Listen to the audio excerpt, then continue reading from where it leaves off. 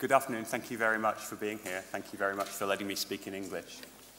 Um, so it's been, it's, we've had a fantastic, I'm very grateful to the previous speaker for a superb introduction to, to some of what I need you to know about DNA. Um, so far we've heard about use, uh, how the, the DNA in living organisms is responsible for, for some memory. Uh, and, and, what I'm going to talk about is, is what you might call not living DNA, uh, being useful for memory. Uh, and also, it's an interesting distinction that maybe in the past, when people thought of memory, we just thought of what was in our heads. And in the last few years, we've all become very familiar with using the word memory to describe a, a thing that's in our computer uh, that holds information um, and, and, and, saves us from using our own memory very frequently. And, and, if you're approximately my age, you're just at that generation that's going through uh, this change where you used to have to learn lots of phone numbers. And now I don't know any phone numbers, including my own phone number, because it's in the memory of my phone.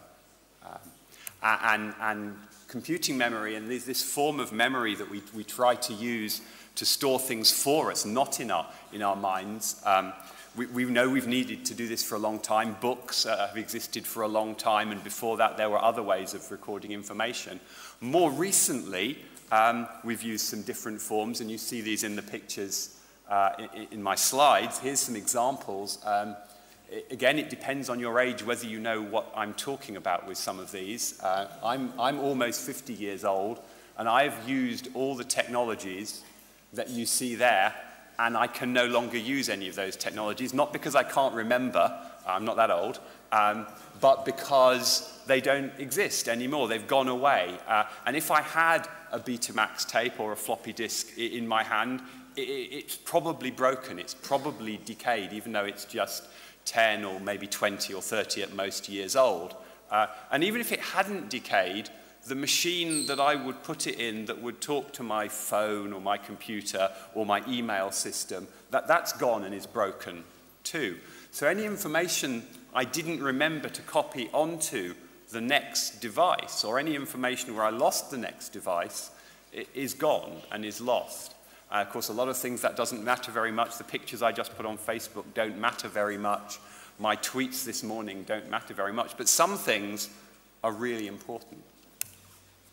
Nowadays, I and, and all of us are using things that look more or less like some of those, I guess. They're just some examples. And that, those are all current, those all work. How many of those will still work in 10 years' time or in 20 years' time? I'm confident to suggest that none of those will be around in 20 years' time. So, what are we going to do? What are we doing with this vast amount of information that we're producing? How are we going to keep it safe, the bits of it that we want to keep safe? And this is a question that gets a little philosophical, but is also very real and practical. Where I work at the European Bioinformatics Institute, we're one of the world's main centers where scientists deposit genomics information that they've deciphered in their laboratories and they send it to us on the internet and we curate it and we compare different data sources and we put that all in huge databases and we serve that back to the scientific community. Uh, over the internet. And you don't need to worry about the details of the graph. It's really there to remind me that we have a very easily understood problem, which is the, the, the squiggly line, which is how fast the data is growing that we are being asked to look after and serve to people. That, that's, the, that's the rate at which it's growing. And the straight red line is the rate at which we can afford to buy hard disk drives. And, and by any measure that they, they've separated, and we can't afford to keep up. And this, we, it's not the end of the world, though. Do keep funding us if anyone asks you whether bioinformatics is a good thing. Um, but um, we, we, we're coping with it okay. We have a number of meetings to do that. This is what a bunch of scientists having a meeting over beer looks like.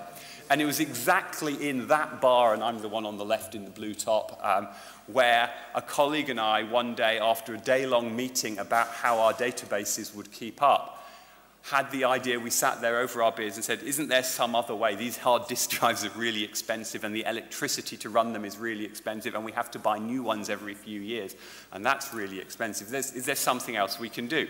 And ironically, we looked at each other and we said, well, DNA is itself a really good way of storing information. It's a digital medium. You, you have a string of DNA molecules. Each little molecule in that string takes one of four forms. There's four different forms, and we've already seen that the A, C, G, T nomenclature used. That's the first letter of the molecules. And DNA is a, a, a long string of those molecules, and depending on what order they come in, There's, there's a message in there. And of course, that's in the genome of every cell, of every living organism. Uh, and what genomic scientists are really trying to do is to understand the code which is used in the genome. Some parts of it we're very good at understanding now, and some parts we're very poor at understanding. Uh, and that's what we're still working on. So this is how long DNA has been around being used as a source of information, and we've heard a bit about that, so I can spend less time on this. Another part of my, my day job is to study evolutionary trees and the process of evolution of genomes. It's been going on on Earth for something in the region of three and a half billion years, 3,500 million years. Um, and there's some DNA which showing you that's the common theme, that's the thread that unites all these organisms. What I actually do in my day job is look at the DNA sequences and compare them in different organisms to try and learn about evolution because it's very difficult to do an evolution experiment. Um, and, so we had this realization that, that DNA is a medium that we might be able to control and use for memory, memory in the kind that's in our computers or in our phones, memory of the kind where we want to look after digital information maybe for a very long time. This is, this is what a, a current DNA reading machine looks like. Um, there's, there's thousands of these around the world. Now they're, they're quite expensive, maybe a couple of hundred thousand euros. Um, you can probably get a discount if you buy a lot of them. Uh, and uh, they're about that big. You can see my colleague Paul Bertone in the background um, to give an idea of scale of the machine. Um, and any, any month now, I know people working for the company who are producing a device like the one in that picture. It's not for sale yet. They've been promising it for the last two years. They're still promising, but we genuinely think it's on the way.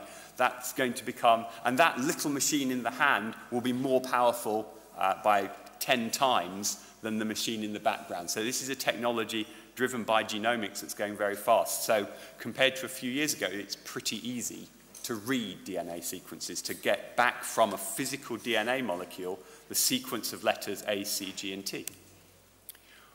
Writing DNA is harder. So our cells are really good at copying DNA. Copying is easy, and humans have managed to uh, learn how that's done in a cell and make laboratory procedures which are very, very efficient and can copy it. Uh, but you need, a, you need at least one template to start from, uh, and if you want to make your own template as a starting point, that's more difficult. These photographs are from a company called Agilent in California, who we've worked with. They have a sort of clean room facility. The, the one on the right is, is uh, zooming in on the machine that makes DNA. It's actually rather like a, an inkjet printer in fact, but instead of firing different colored dyes to a piece of paper, you, you fire a solution with DNA molecules in and that grows fragments of DNA on a glass slide. Um, and they can make DNA fragments, not very long ones, uh, but they can do it with pretty high accuracy now. We knew about these technologies which exist because of genomics and, and medical research, uh, and we realized that we could um, put together an experiment and do this um, with other information. So here's DNA. We've seen that it's, it's a very small molecule. Um, you can get an idea it's in, it's in it's measured in nanometers typically. It forms this double helix which is very famous but isn't uh, important for the work we've done particularly. It's these single strands that have the information encoded in them in the sequence of molecules which you can think of a sequence of letters uh, or I like to think of it now uh, as a sequence of Lego bricks in four different colors. And it's harder um, than clipping Lego bricks together, but just as you can make a tower of Lego bricks in four different colors, and you could choose what order to put the colors in, and we could invent a code to send one another messages, that's exactly what we felt we could do using DNA molecules themselves.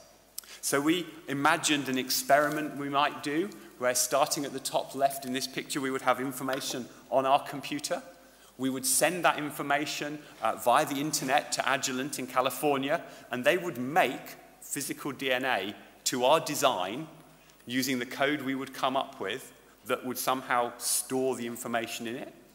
Uh, they sent that back to us. They actually sent it by FedEx. Uh, it doesn't, it's not difficult to move DNA around the world. I brought some here with me uh, for this, for this, um, this afternoon. Um, uh, uh, it's very easy to keep as long as you keep it cool and dry uh, and maybe in the dark. Um, it's very secure. As, as you all know, you're all carrying around uh, a few hundred grams of DNA. You subject it to all sorts of abuse, um, yet it basically comes out the other end intact. You know, we, we all survive a, a good long life, I hope, and we pass it to our descendants, and so on. Um, we did a bit of laboratory work uh, outside Cambridge where I work. We actually sent uh, the DNA sample onto a sequencing machine in Germany. Um, we got the results, we would decode it. This was our plan, and then we had to talk to all the people involved in the chain and work out a code that would achieve this. Um, but before we do that, I step back a little bit, and I have to admit we weren't the first people in the world to have this idea.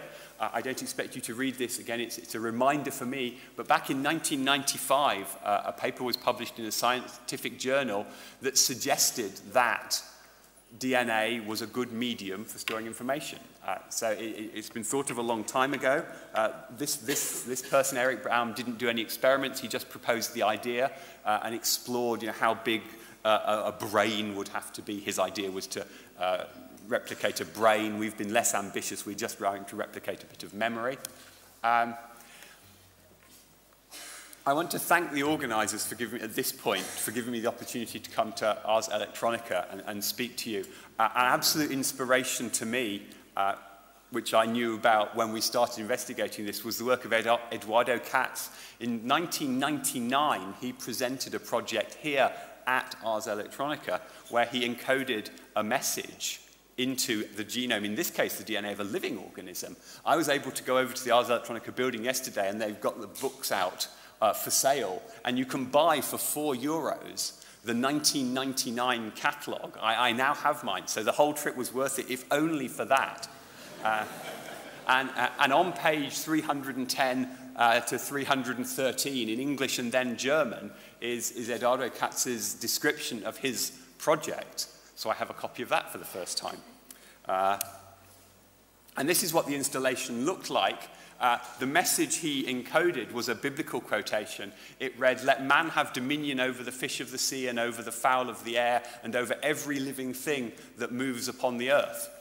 Um, and that was placed in, in bacteria, at, which you could, you could view in the room. And on the left hand side is some DNA representation of that message. On the right hand side, projected on the wall, is the original quotation. What I've supplied over the top is what happened when they, at the end of the exhibition, took the bacteria, uh, extracted the genome, uh, read it back to see what the message should have been, uh, and highlighted in red are, are, are three errors um, that came. And this is why, if you want to use DNA uh, as the memory of important information that you don't want lost or corrupted over time, don't put it in a living organism because it will evolve and it will, it will mutate and it will evolve and it will slowly degrade your information or change your information. For living organisms, we've heard that's really important and the analogy was this is why we are not bacteria, which is absolutely correct. But for storing information safely, you don't want to use a living organism, but you can use DNA. It has lots of fantastic properties. About this time last year, uh, I met a British artist called Charlotte Jarvis, who was also very interested in storing information in, in DNA. Uh, normally, I spend a few minutes talking about her work, but since late last year, we've been collaborating on, on, a project.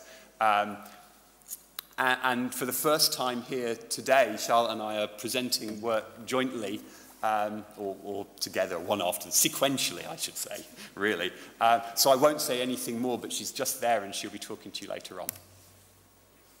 Uh, other people have done large projects use, uh, writing into DNA. Craig Venter uh, may be known to some of you. He's done uh, a lot of very innovative work in genomics, including the creation of a synthetic bacterium, where they they took the known sequence of the genome of a bacterium, created that DNA at vast expense, so tens of millions of dollars, taking many years to do, and put that genome into uh, an empty cell, in a sense, and, and created a living copy of a bacterium. They didn't only use the genome of the original bacterium, but they added extra information, including the names of the authors of the scientific work uh, and a couple of quotations. Um, and George Church, who I know is very well known to Ars Electronica, uh, and there's information about some of his work in the building uh, across the river there, um, also did a project storing, in his case, a book. He, he in recorded information, as did essentially everyone up to this point. Um, what was stored was, was sentences or uh, quantities of English language text. Um, his, his work was, was a book that he and a co-author had written that was encoded. Uh, when they came to read it back, they, they had a few errors, which I will talk a little bit about in a minute. So back, back to our experiment, we didn't know about George Church's work, we knew about the other things that were going on, uh, but we wanted to illust illustrate that you could store anything, just as your phone or your computer can store images and documents and movies and sound and anything you can put on a computer, which is many, many things today. Um, if we can store them on a computer, we felt we should be able to store them in DNA. So we invented a code that would do that. We looked at the properties of DNA and how we would be able to manipulate it. And we imagined starting with the top of the picture illustrates in, in a little schematic form any file on your computer. This is actually part of a, a Shakespeare's sonnet. You can see thou art more lovely and more temperate. Uh, on a computer, I think everyone's familiar, that's represented as zeros and ones. And as long as you know the code to translate between zeros and ones and, and the English language in a text document, you can recover the information. And there's a different code for the sound in an MP3 file, and there's another code for a PDF document, and there's another code for a Word document or a movie, and so on. We invented our own code that would take any computer file, uh, and through some steps that I won't for lack of time, explain to you in more detail this afternoon, we could put that into a form where we would design DNA that would store that message. One of the important features I will just mention is that although humans can write novel strands of DNA. Now, we can't make very large ones, not nearly the size of the genomes that have been described to us. And about 200 base pairs, 200 molecules at a time, is the limit to what can be written. So we had to invent a code that could take the, store the message in a lot of small pieces and put them back together again. So we had to invent an indexing system that would do this. And we were also very concerned to think there has to be some kind of error tolerance or even error correction, just as our computers, our hard drives on your computer, you may not, maybe don't know it, but they're always checking for errors. And if an error occurs, they correct it. There's error correcting code going on.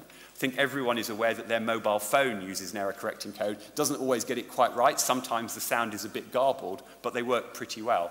And we devised a code that would have some error correction properties. So even if a bit of the message was damaged, we could reconstruct it correctly. Here we are viewing it as Lego blocks again, if that helps in your mind to think what we're doing. We're making lots of Lego blocks of DNA. We're going to read them back and we're going to reconstruct a message. This is part of the file that actually defines the code that we use to go from computerized information in the, what we might call traditional sense uh, into a code of DNA. And also because we're that kind of scientist, we use that as one of the files that we stored in our experiment. And we wanted to choose other bits of information that were arguably had meaning to us and were of high value, the kind of thing you might want to store for a long time, to keep safe, not just for the lifetime of your computer, but maybe for, for humans to have access to for a long time. So one of the things we chose was a file containing Watson and Crick's publication uh, from 1953 describing the structure of DNA for the first time, for which they won a Nobel Prize. Uh, another thing we wanted to uh, illustrate was, was the use of sound. Um, and, and we ended up choosing a, a, an excerpt from Martin Luther King's speech, I Have a Dream, which coincidentally was 50 years ago, just a few days. I have a dream that one day this nation will rise up and live out the true meaning of its creed. We hold these truths to be self evident that all men are created equal.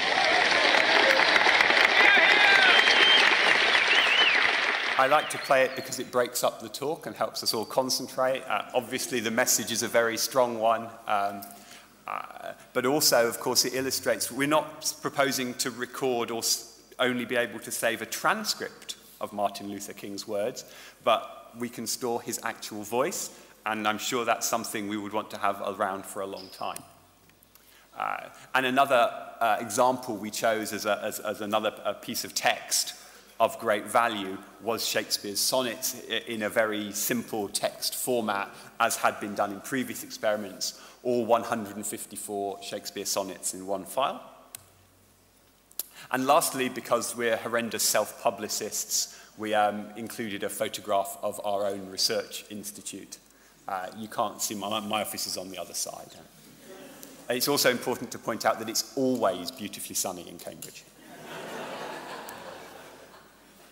And so we made designs for DNA using our code, in, in, encoding all of those files. And, um, and we sent that information to our collaborators in California, and we asked them to make for us the DNA. And the box there you can see, and I'm not going to hold one because you, you, can see a picture of me holding it, but Charlotte has the box, and why don't you just take it up? DNA is not scary. Um, so there's, there's, are there four in there? Yeah, if you let them go around the room, what you can do is you'll do what I did. Those of you that get a chance to have a look at it, is it'll arrive to you. In my case, I took it out of the box and I looked at it and I said, oh no, it's gone wrong. They haven't sent me anything. This test tube is clearly empty. Um, and that's probably what most of, unless you have lab experience yourselves, that's what each of you will probably do that gets the opportunity. And the trick they teach you, and I lab colleagues very quickly told me, you hold it up, there's probably not enough light in here, but try and get the light shining through the tube, and you look up into the base, and at the base of that, there's a tiny speck of dust, or almost you might say it was dirt. And for those of you that don't get an opportunity, uh, I'll be around at the end, so come and have a look if you want. Um, but it, it, it's also, it looks like um, if you had a small drop of salty water in a glass, and then you let that dry out. So the water evaporated away, and you were left with a tiny film, in that case of salt, uh, on the glass. That's what DNA, dry DNA in a test tube looks like.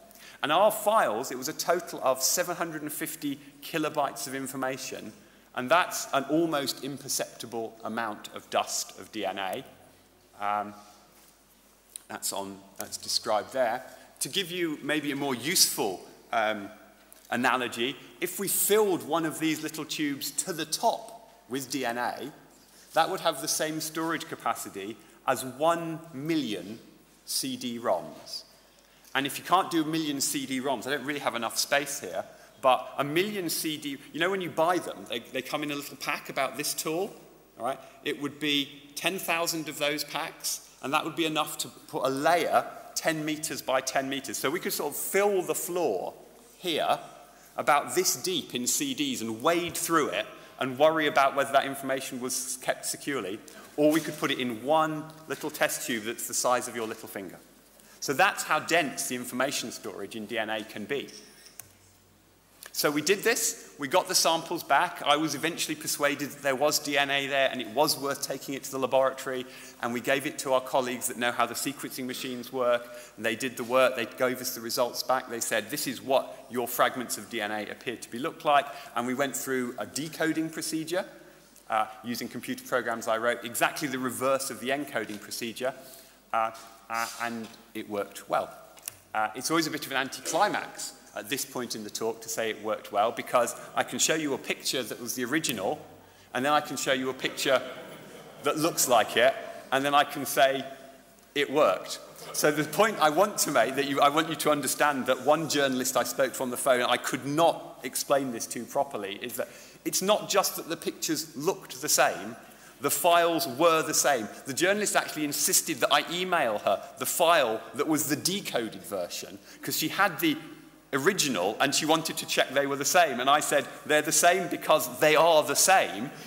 If I email you one, it's no more the same as the one I've just sent you because I've just moved some electrons from Cambridge to Zurich and, and she wouldn't believe it. And so I emailed her a file and she phoned me back the next day and said, thank you very much. And yes, they are the same. And of course, all the files we did were the same, and we were able to reconstruct with, with 100% accuracy that, that the files were entirely unchanged. Although in the process of making DNA and reading it back, there are occasional errors, because we had built a code that could correct errors, just as your computers do, just as your mobile phones do, we could reproduce the original files 100% correctly. Just a few more minutes, I won't talk much more about this. Um, because we were so keen to think whether this could work uh, as a real technology in the future, we did, we did a bit more analysis. One thing we did was look at how would this work on a larger scale. We did approximately one megabyte of information. Uh, but, but how much information can you do? Uh, in the world at the moment, in total, there's three zettabytes of information, it's estimated. I don't even know what a zettabyte is. It's an unthinkably large amount of information. Our method could work with that much information. Uh, we wouldn't have to change the system. It, it appears that it would all be okay. It would be very, very expensive, and I'll come back to that in a minute. But at least in principle, if you had the money and the time, you could do it. And if, and for scientists, graph is, isn't compelling, uh, I, I've mocked up this picture to illustrate that you could put all the information in the whole world in about 1.5 cubic meters, which you could easily fit in a small van. So that would be, and that's not just, that, that's not just one copy of everything in the world. That's if you took every data center in the world, every person's computer in the world, and so on, you could fit it in one van. DNA lasts a really long time. Saying it lasts for three and a half billion years is not quite fair of me because, of course, many copies are made and pass from parent to child in that time. But although I haven't done the experiment, the experiment has been done to see if DNA, see if DNA is stable for a long time. We have genome sequences from samples from mammoths, 20,000 years old, from bison, 60,000 years old, Neanderthals, 40,000 years old. Uh, there's pollen and bacteria maybe approximately half a million years old. And very recently, you may have heard there was press coverage of a project where ancient horse genomes were studied. That's 700,000 years that that DNA has lasted. Those weren't carefully controlled experiments. Those were animals or Neanderthals that died and lay down somewhere cold, got frozen, got rediscovered by contemporary humans. So DNA will last an immensely long time. We did some modeling of whether this was, was useful uh, on what time scale. This tells me that at current costs, you need to be prepared to spend as much money now uh, as it would take to store in a data center for 1,000 to 6,000 years to make it cost effective. If the price comes down by a factor of 10, and because of genetics research, that's going to happen in a year or so, then the time scale where it's cost effective comes down to 100 to 500 years. In another couple of years, when it's a factor of 10 cheaper again, we're looking at 10 to 50 year time scales. Maybe you or I would be prepared to store information for our children or our grandchildren. We want to put it somewhere safe. We want to know it will last. We can just forget about it one way of storing it would be somewhere cold and dark and dry. This is pictures of the Svalbard Global Seed Vault. There is already a facility in Norway which is perfect for storing DNA. It requires very little maintenance. If the electricity fails, it equilibrates to the local temperature, which is slightly below zero. If you want to do it in your own home, that's just fine too. Just stick it in the fridge, it's quite safe. With that, I'm finished. Thank you very much for listening, and I'm going to let Charlotte tell you a bit about what she does.